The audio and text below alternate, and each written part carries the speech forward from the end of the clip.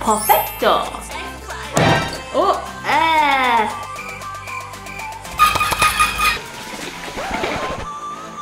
Oh, this looks like a big poo. yes!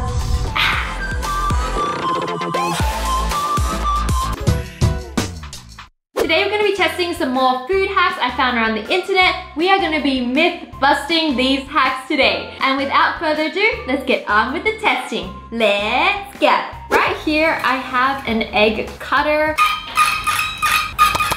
I've never used this to cut eggs in my entire life before. That's not gonna change today. But apparently this can be used to cut a bunch of different things. So we're gonna put different like ingredients and fruits and things to the test. Let's do it. So we're gonna start with some mushrooms first. I think this will be the easiest to cut. And then you can get like perfect sliced mushroom for salad. Okay. That was pretty easy. Look at that. Perfecto. We gotta do it again. Whoa! Yes! Yes! They look like little trees. Oh. oh. Maybe I should have washed these.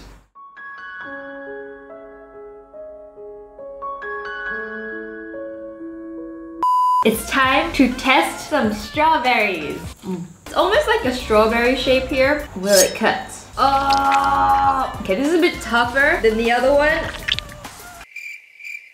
Kind of looks like it's just stuck in the middle. I've got like two slices that's popped out. Ah! This looks like a murder scene. Let's move on to the next fruits. We have a banana. The first thing we need to do is obviously peel. it just exploded. Let's see if this works.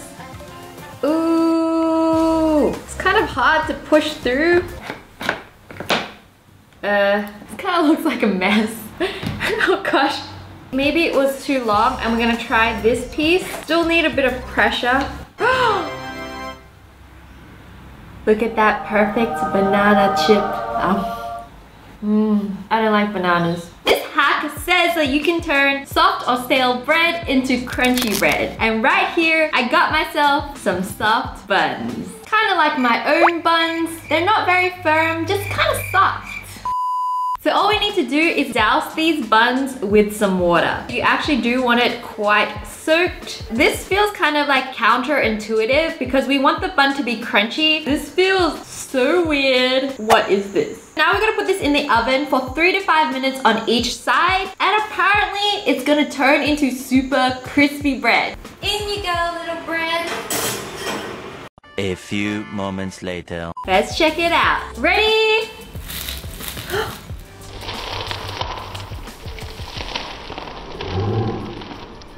Wow, you see that beautiful bread? It is crunchy, could you hear that?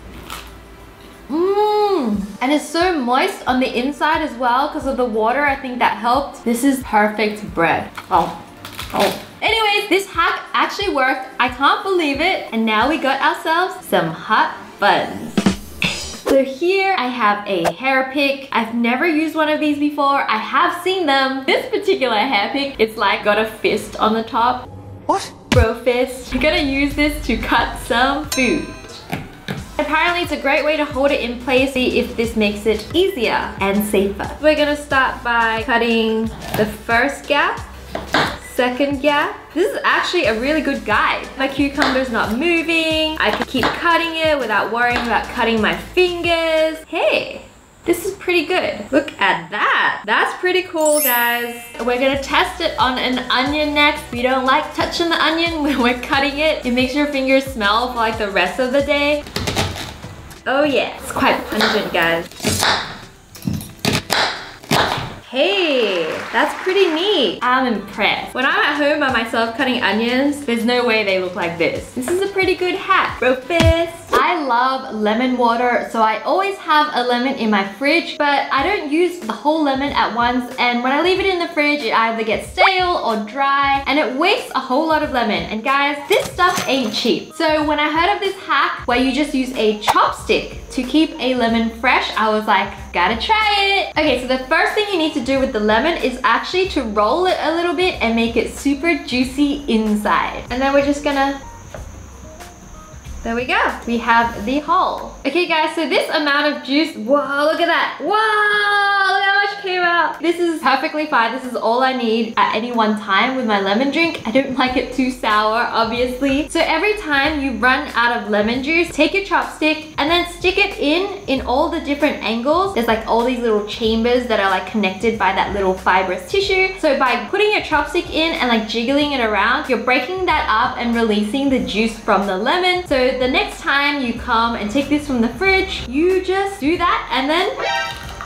check that out. More juice comes out. And now that we've got enough lemon juice for this time, we can pop it back in the fridge. It won't go dry or stale. I love this hack. If you're a lemon lover, you'd love it too. I have a confession to make. I love garlic. So I guess I can never date a vampire. Werewolves call me. But anyways, I hate peeling them. You know that smell gets on your fingers and stays forever. So I saw this hack where you put the garlic in a jar and you shake it up. Apparently it magically peels it. They make it look really, really easy. Let's get shaken. They make it look so easy. Uh, guys, it looks exactly the same. By now it should have done something. What is this? The internet lies. Mmm, smells good though. Maybe let's try it again. But we're gonna peel the cloves off separately first. So I'm gonna take points off this hack because it's making me do stuff. I guess it's making me do some exercise. Oh, maybe I'm not strong enough for this hack. Hold on a second. I'm calling a lifeline. Shaking it a lot. Thanks, Bex. So with someone with slightly more muscles than me, we peeled one garlic. We got one garlic peeled. Looks like I'm looking into my own soul. So apparently there's a hack that helps you peel your boiled potatoes easier. All you need to do is grab a knife and then all you want to do is score around the middle section of your potato lightly. We don't want to cut all the way through, we just want to cut through the skin and if with any luck we're meeting on the... Oh, perfect! Let's do it for the other one before we pop them into the water. Alright, we've scored them. Let's pop them into the water to cook.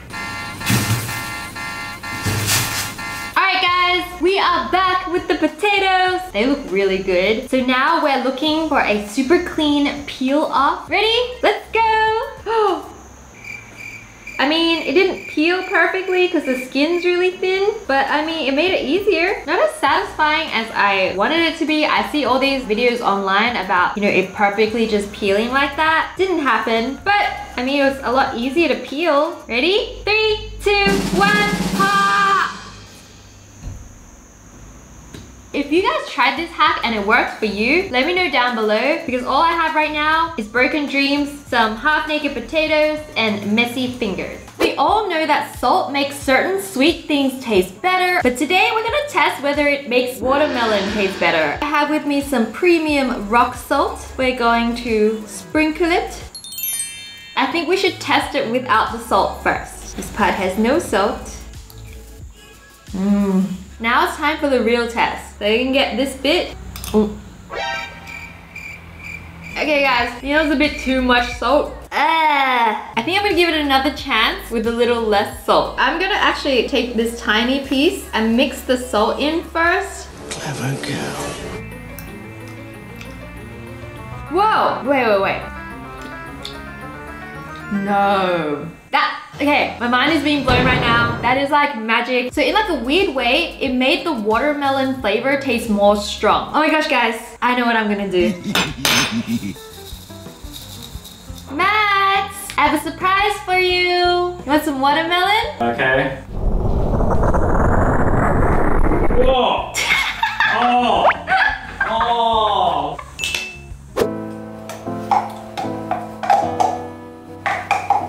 Always a sad moment when we get to the end of our Nutella.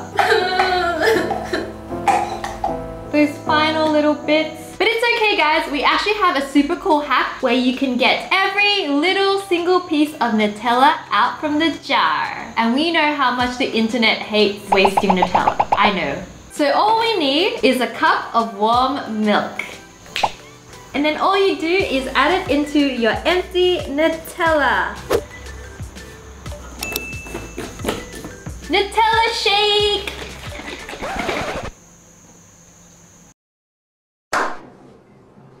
Did not expect it to leak on me. It looked airtight in the picture.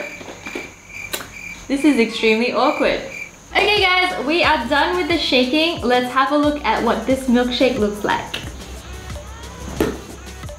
Mmm, that looks good.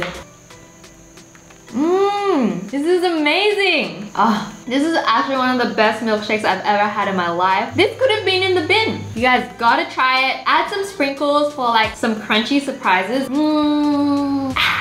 Apparently you can make cookie cups from the bottom of a muffin tray. You can either make your cookie dough or you can buy it like me because, you know, laziness. So we're just gonna open this. Oh, look at that. Oh, this looks like a big poo. Cut little bits out so we have the right thickness. I was gonna lick the spoon, but it was a knife, so I was like, bad idea. All right, we're gonna spray this with some oil so that the cookie cups don't stick. Ooh yeah. The cookie dough and just kind of mold it around the cup. Okay guys, I think we're done. So let's pop it in the oven and see what it turns out like. Whoa, what is that? It looks like chocolate Grimer. So, as you can see, this kind of didn't turn out as I planned it. In my head, it was supposed to look like this. You know, like it all looks very pretty. Maybe we can still save it.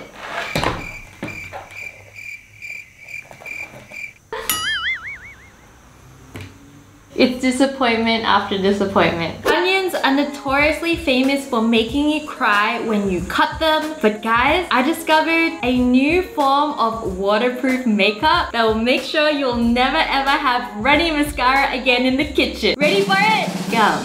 Apparently, when you chew gum while you're cutting onions, it's supposed to stop you from crying. All right, we're gonna go, hmm, okay.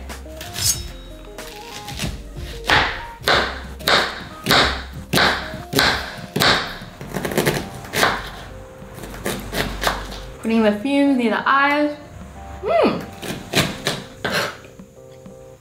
Look guys, bright sparkly eyes. Okay, so by now I would normally be crying. And you know what? I can hardly even smell the onion because it's so minty fresh up here. At first when I heard it, I thought it sounded a bit strange and a bit odd, but this hack actually worked, which surprised me. We tested some pretty cool hacks today. Let me know which one your favorite is down in the description box below. Huge shout out to Notification Squad of the Week and also the Wengie Corner of the week. If you guys want to get your very own shout out, don't forget to follow the instructions in the description box to see how you can enter. And I will see you next week. I'm gonna miss you guys so much until then. Bye guys!